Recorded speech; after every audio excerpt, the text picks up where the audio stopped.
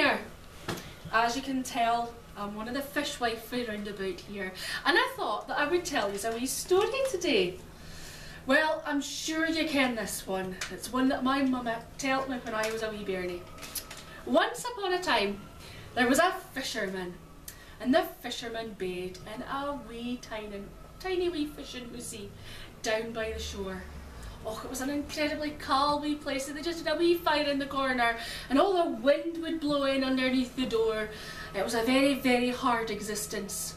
They had nothing but wooden bowls to suck their brose out of in the morning, and their porridge at night. There was nothing that the fishwife wanted, but for a better life for herself. And one day, down the fisherman went, down onto the shore. He took out his nets, which his wife had just mended for him, hauled them in, off he went in his boat. First time he pulled in his nets, there was nothing. And the second time he pulled them in, there was nothing but an old boot.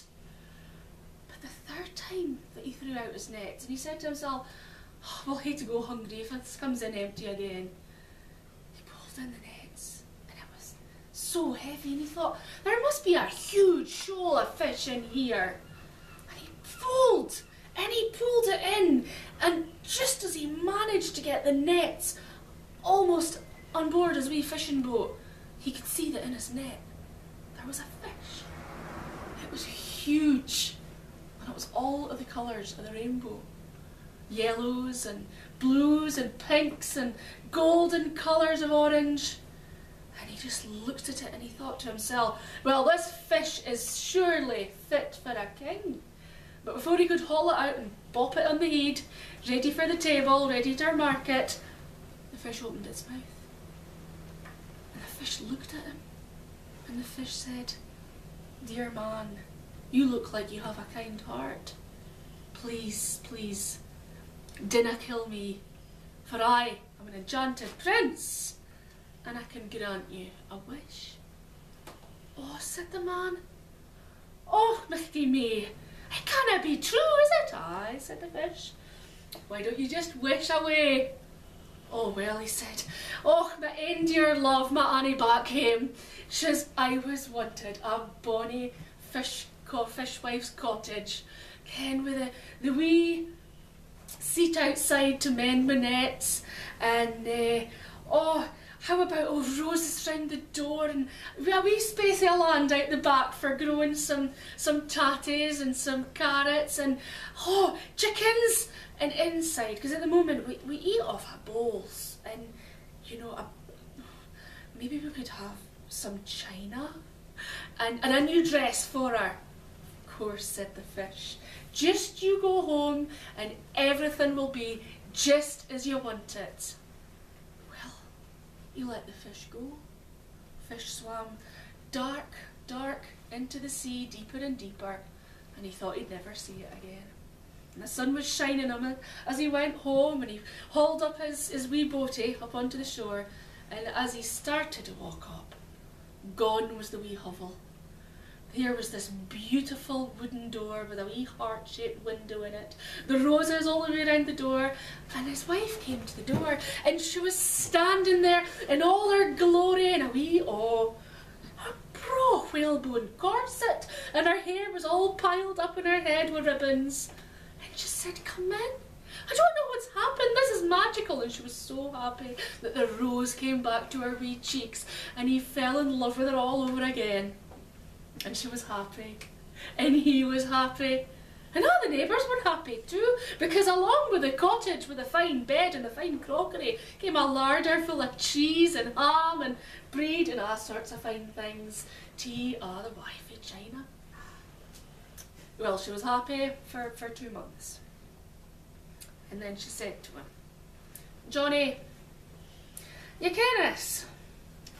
That magic fishy I think you've done yourself too hard. You should have asked him for mayor. You're better than that. Yes, I would quite fancy a mansion up on the hill with some wee skivvy lassies to look after me. And I think a silk dress would do better than a new stripy pinny.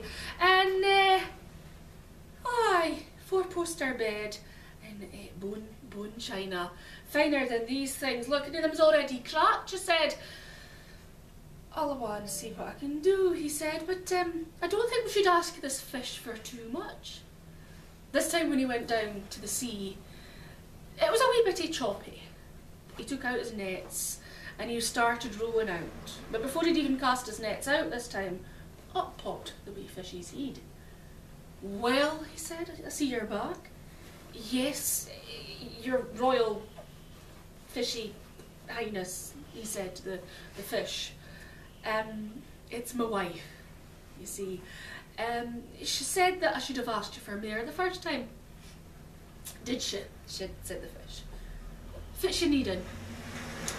Well, she'd like a, a mansion. She'd like servants, um, jewellery and, and a fine body dress, and uh, more than one room, and a clutchy mm-hmm. inside. Okay, said the fish, just you go home and you will find that she's got exactly what she wants. I hope I won't be seeing you again, said the fish. No, no, no, said the fisherman. Thank you, thank you so much. And off he went back home. And as he got out of his boats and he saw over the shore, he could see where their cottage had been.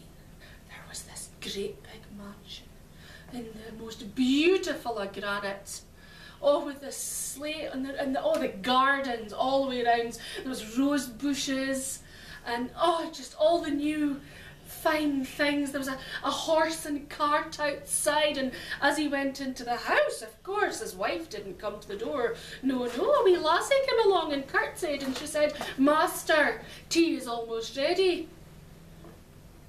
He wasn't sure about the cucumber sandwiches. He'd much rather have had some tatties and herring. But no, in came the wife, in all of her silks with a brooch at the neck and the hair piled up.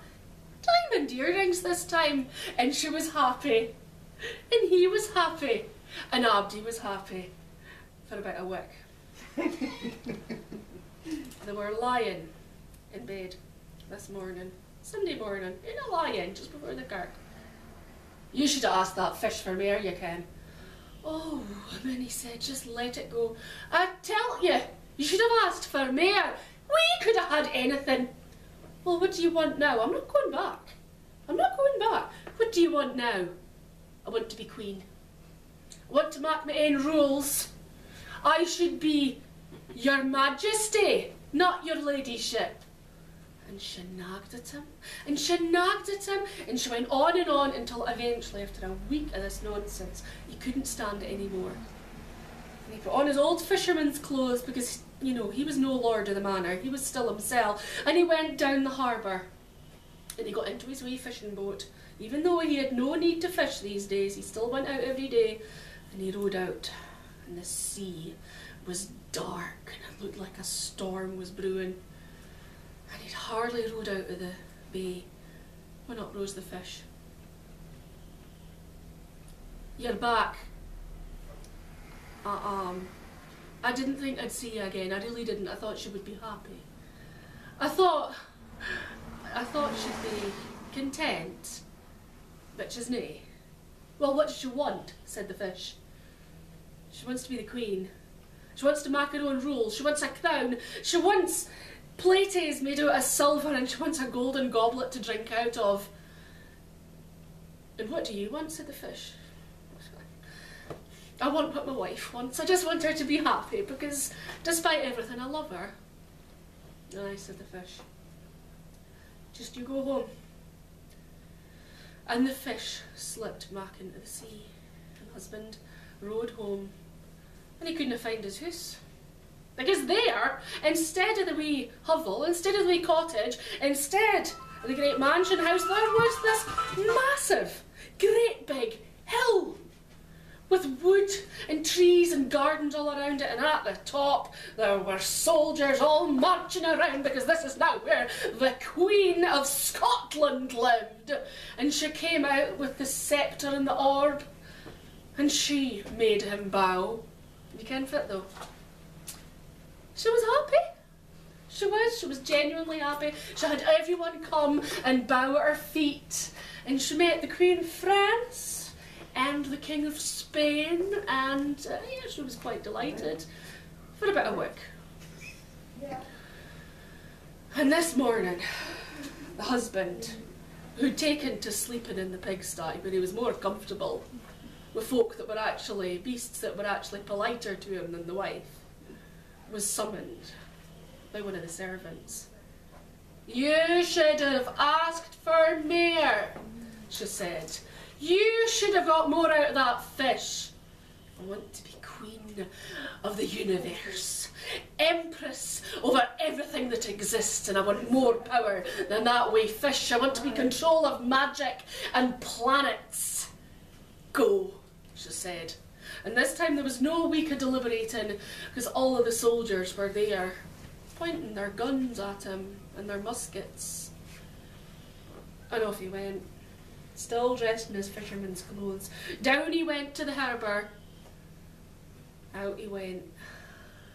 The sea was so choppy, the sky was black.